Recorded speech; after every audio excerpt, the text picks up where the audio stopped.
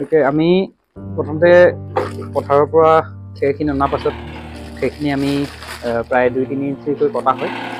কটাৰ পাছতে আমি সেইখিনি আমি সিজাই লোৱা হয়। সিজাই লোৱাৰ পাছতে সেইখিনি প্ৰায় আপোনালোকে ইয়াত দেখিবলৈ পাইছে যে ইমানটো ধৰণকে প্ৰায় ছেভেণ্টিৰ পৰা এইট্টি পাৰ্চেণ্ট আমি শুকাবলৈ দিয়া হয়। শুকোৱাৰ পাছত আমাৰ যি কাঠফুলাৰ বীজ বুলিয়ে কোৱা হয় একচুৱেলি স্পাম হয় এইটো। আমি যিহেতু সৰ্বসাধাৰণ ৰাইজে আমাৰ কাঠফুলা বীজ বুলিয়ে জনা হয় গতিকে বীজখিনি প্ৰায় চাৰিটা ষ্ট'ৰত দিয়া হোৱাৰ বাবে আমি এটা টোপোলাত এটা কাঠফুলা টোলাত প্ৰায় এশ গ্ৰাম আমি কাঠফুলা গুটি দিয়া হয়। সেই অনুপাতে মই এইখিনি ভাগ কৰি লৈছোঁ। ভাগ কৰাৰ পাছতে আমি প্ৰথমতে আমি প্ৰায় ডেৰ ইঞ্চি প্ৰায় ডেৰ ইঞ্চি মানে সাতশ গ্ৰামৰ পৰা আঠশ গ্ৰাম আমি খেৰ দিয়া হয়।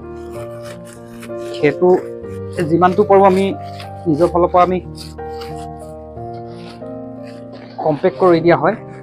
কম্পেক্ট কৰাৰ পাছতেই। ইয়াত আমি বীজটো দিব পৰাকৈ প্ৰথমতে অকণমান সুবিধা কৰি ল'ব লাগিব।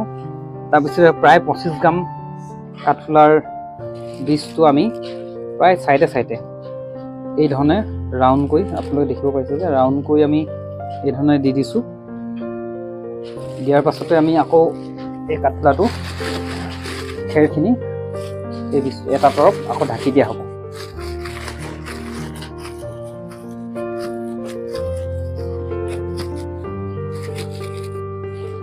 ইয়াৰ পাছতে আকৌ দ্বিতীয়টো তৰফ আমি দিলোঁ।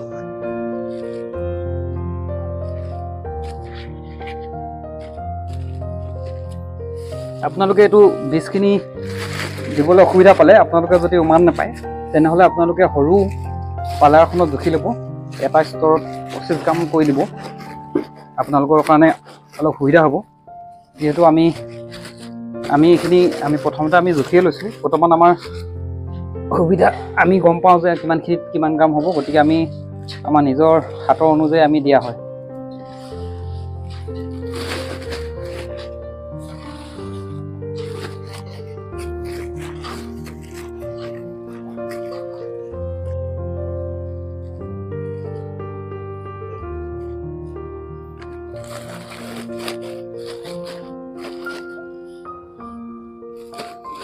তাৰপিছত এইটো যেতিয়া চাৰি টপ দিয়া হ'ব ওপৰত আকৌ খেৰ টপ দিয়াৰ পাছত এইটো খুব টানকৈ যিমানটো পাৰে সিমান টানকৈ যিমান পাৰে টান কৰিব লাগে যাতে আমাৰ ইয়াত হাৱাটো সোমাব নালাগে বাহিৰৰ পৰা। আৰু ইয়াত এইটো চাব লাগে যে বাহিৰৰ পৰা যাতে পোক পতংগ বা অন্যান্য বেলেগ ধৰণৰ বীজাণু যাতে এই ভিতৰলৈ সোমাব নালাগে। তাৰ প্ৰতি লক্ষ্য ৰাখি এই ধৰণে আমি কৰি লোৱা হ'ল টোপোলাটো। আপোনালোকে দেখিব পাইছে। পৰিষ্কাৰ এটা ঠাইত আমি এনেকৈ এই ধৰণে আমি এই টোপোলাবিলাক সজাব লাগিব। আৰু ঠিক এই সজোৱাৰ পাছতে আমি এখন ভাল চফা কাপোৰে ইয়াক ঢাকি দিব লাগিব যাতে এই পৰিৱেশটো ইয়াৰ পৰিৱেশটো অকণমান আন্ধাৰ হয় যাতে। আন্ধাৰ হ'লে মানে ইয়াৰ যি আমি বীজসমূহ দিলোঁ এই বীজসমূহ গ্ৰ'থ হ'বৰ কাৰণে অলপ সুবিধা হয়। আমি আমি সেই পোন্ধৰ দিন ঢাকি থোৱাৰ পাছত পোন্ধৰ দিনৰ পাছত আপুনি চাব দহৰ পৰা পোন্ধৰ দিনত যেতিয়া এই ধৰণৰ বগা পৰিব গোটেই টোপোলাটো। দেখিছে? এই টোপোলাটো ধৰাৰ পাছত আমি আমাৰ সুবিধাৰ কাৰণে আমি এই ধৰণে আমি চাংবোৰ বনাই লোৱা হৈছে। নতুবা আপোনালোকে ৰছী দি এনেকুৱা ওপৰৰ পৰা তাৰ পৰা ৰছী দি আপোনালোকে বান্ধি ওলমাই দিব পাৰিব। তিনিটাৰ পৰা চাৰিটা টোপোলা। থোৱাৰ পাছতে এই ধৰণে আমি থোৱাৰ পাছত প্ৰায় দুই তিনিদিনৰ মূৰে মূৰে ইয়াত আমি স্প্ৰে দি স্প্ৰে কৰা হয়। পানী স্প্ৰে কৰিব লাগিব। প্ৰায় দুটা সময় আমি স্প্ৰে কৰা হয় যাতে ইয়াৰ যিটো ঠাণ্ডাৰ এটা পৰিৱেশ লাগে কাঠফুলা ডাঙৰ হোৱাৰ কাৰণে আমাৰ ঠাণ্ডাৰ পৰিৱেশটো লাগে সেই ঠাণ্ডাৰ পৰিৱেশটো সদায় আমি সৃষ্টি কৰি থ'ব পাৰিব লাগিব। আৰু সেই সৃষ্টি কৰাৰ পাছতে আমাৰ মই অৱশ্যে এইখিনিৰ পৰা যোৱাকালি আমি ছিঙি পিনি বজাৰলৈ পঠোৱা হ'ল গতিকে আপোনালোকক দেখাবলৈ পোৱা নাই। তথাপিও আমি আপোনাক দেখাইছোঁ এই ধৰণে লাহেকৈ ওলাই আহিব কাঠফুলাবিলাক।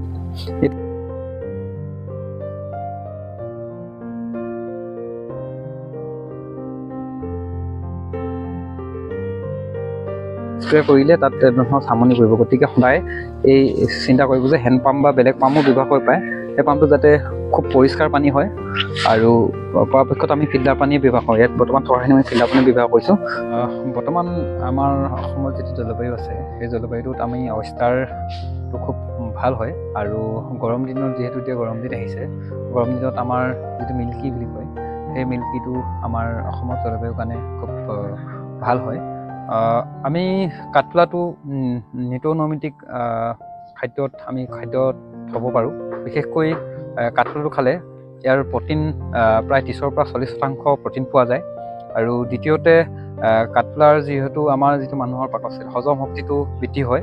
তৃতীয়তে আমাৰ যিসকল মধুমেহ ৰোগ মানে ডায়েবেটিছ ৰোগী আছে ডায়েবেটিছ ৰোগীসকলেও বহুতখিনি খাদ্য খাব নোৱাৰে।